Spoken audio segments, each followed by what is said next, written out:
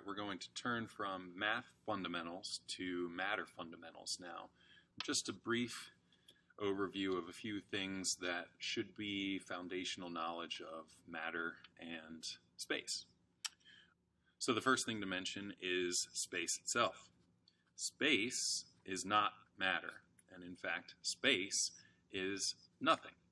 And it's really clear, really important that we recognize that space is absolutely positively nothing, which leaves matter as the comprising characteristic of everything else. Since matter is everything else, it makes the most sense to start with some of the most basic knowledge, which is the fact that matter is considered to be comprised of atoms. Most of you by now should be familiar with atoms and comfortable with the components of atoms, but just as a primer overview, the atom is comprised of two basic structures, which is the nucleus, right? First of which is the nucleus. The nucleus is a massive, dense center of the atom and carries a positive charge.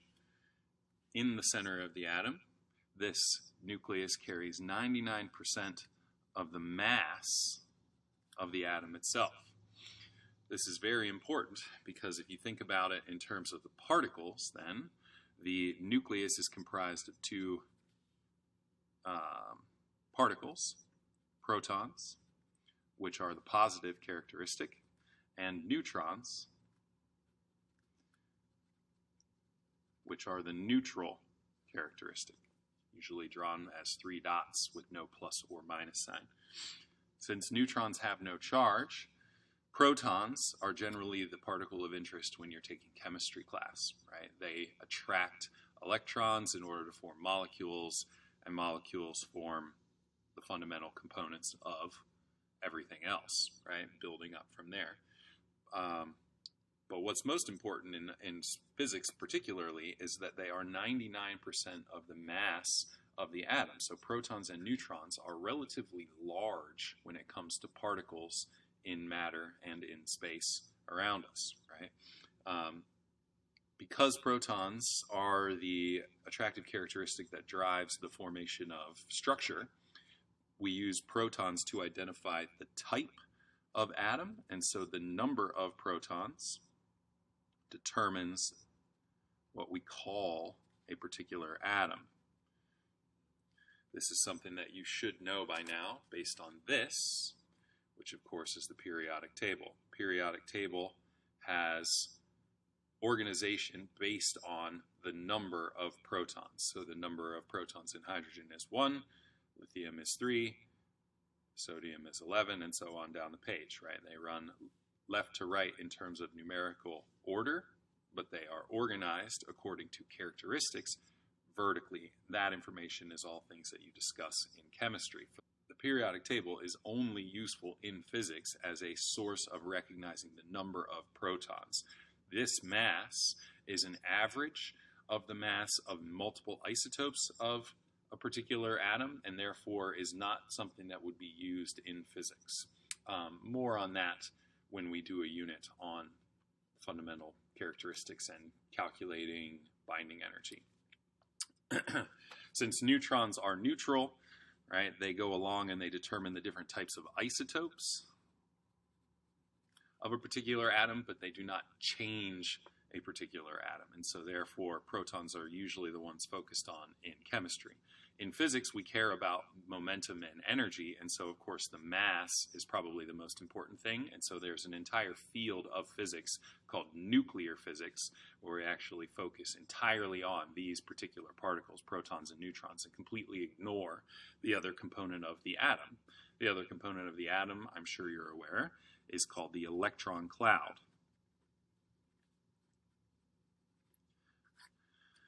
Unfortunately, the electron cloud is a misnomer because it's not actually a cloud that um, indicates some sort of dispersal of particles around the central nucleus. And in fact, it's not really a dispersal, it's more of a probability of where the electrons are located. But because the electrons move within the electron cloud at an extremely high speed, and they're very, very small. There is no definite position of an electron, and therefore we assume the characteristic to be a cloud. But the cloud is obviously external to the nucleus and contains all of the negatively charged particles, which we call electrons. Electrons are very, very small, in fact 10,000 times smaller than protons and or neutrons, which is why electrons do not even get added when you consider the mass of the atom itself. They're very, very, very, very small. However, because of their relative speed, if we were to think about the size of the atom once it's complete, right, with the nucleus and electrons flying around the outside, the, the volume of an atom is considered to be 99% electron cloud.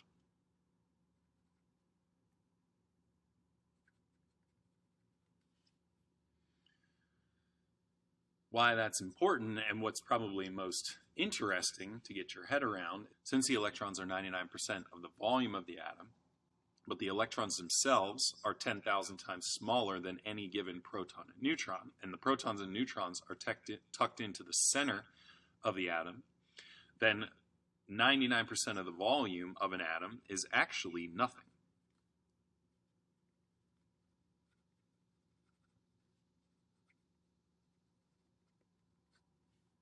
Right? Space, of course, as we started, is nothing.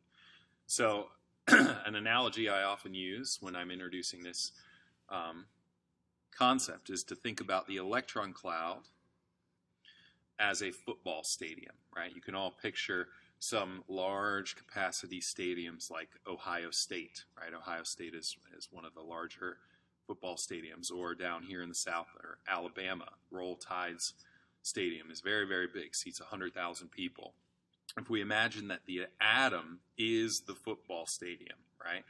This represents the overall volume that the atom takes up.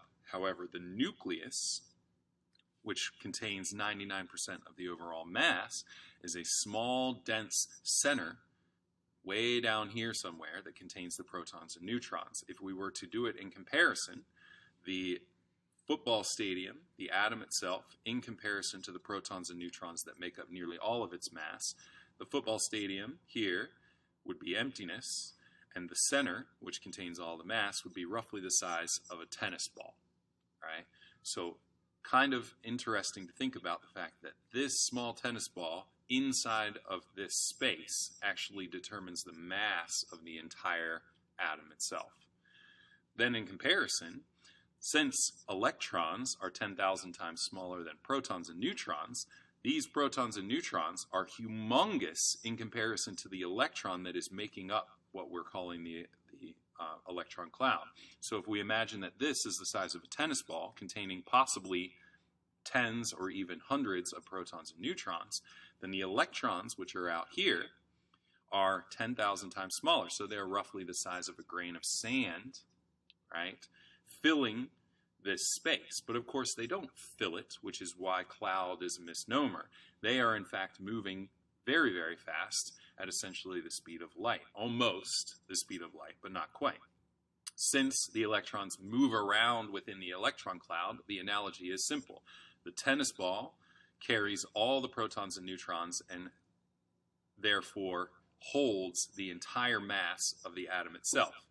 The electrons on the outside determine the volume of the space by moving, right? And so if you can picture that this tennis ball down here is attracting these electrons, but the electrons are moving very fast, they are moving from seat to seat to seat to seat to seat to seat all throughout the entire football stadium at speeds that are unimaginable. Which is why, if you look at it as a normal person, you can almost picture that the electrons are in all the seats and none of the seats all at the same time, which is why we think of it as a cloud. But that's the basic structure. And so if you can imagine that this determines the entire mass, and this is 10,000 times smaller than that, then the majority of the atom is actually nothing. Nevertheless, atoms are how we think about the universe and the world around us. And so there are a few fun facts that you should know. First of all, is that 90% of the universe, the entire universe itself, is comprised of one particular atom, which is hydrogen. 10%, the remaining 10% of the universe, is comprised of a secondary element called helium, both of which you should have heard of by now, right? This adds an interesting conundrum. If 90% of the universe is hydrogen and 10% of the universe is helium, that's 100%. And if we go back and look at the periodic table, there are 118 possible elements, and yet we've comprised the entire universe by hydrogen and helium. And what would be the explanation for all the other elements? Well, significance determines all 118 elements. The massive amount of hydrogen and helium in the universe so greatly outweighs the remaining elements in the universe that when we're talking on a universal scale, we, we simply think of the universe being comprised of hydrogen and helium. And when you look at that, you think to yourself, well, Earth has a lot more elements than hydrogen and helium, and certainly has mass that is determined by things other than hydrogen and helium. So, where in the universe is all this hydrogen and helium? And the answer is pretty straightforward stars, right? Stars are the most abundant objects in the universe. And stars are preliminary precursors to the development of all other elements. And so, in stars, due to reasons we will not get into, hydrogen and helium are formed, and then hydrogen and helium are used to then generate the remaining elements. Once a star supernovas, which is when a star uses up its fuel, burns out, and explodes, the, the supernova explodes those elements back out into the universe. They condense down into things like planets and moons and other objects. And so they are the, the comprising material of the universe. And this should be fairly obvious because if you look up to the sky, the only thing that you can see at night, most of what you can see, are stars. If you were to focus a high powered telescope at a blank black section of the sky at night, after some time, that telescope would collect an image of billions of galaxies within that frame. And within those galaxies, there are billions of stars. And so stars just greatly outnumber everything else around us. But of course, here on Earth, the elements end up being quite important, right? Elements are a collection of similar atoms.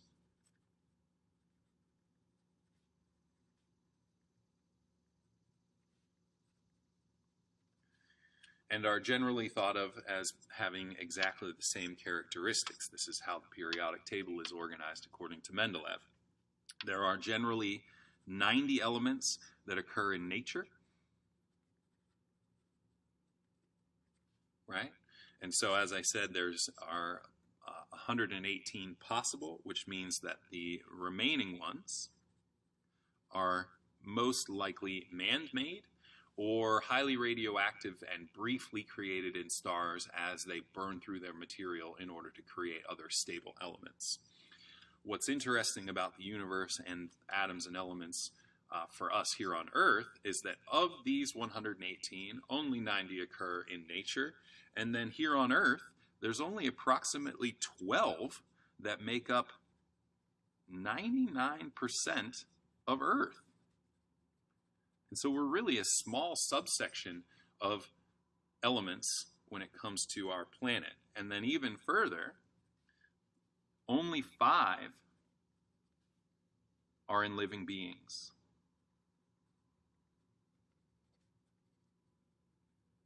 And since there are only five, it's a useful point to point out those five. Of course, oxygen, carbon, hydrogen, nitrogen, and then the last one, if you think carefully about your own body, is calcium. These five elements form all living beings that you interact around us. Those five interact with seven more in order to create nearly the entire Earth. The entire Earth lives in a world, in a universe, where only 90 elements occur naturally, with a possible 118, and yet the universe itself relies mainly on two to drive the whole system. The universe is simple and yet complex.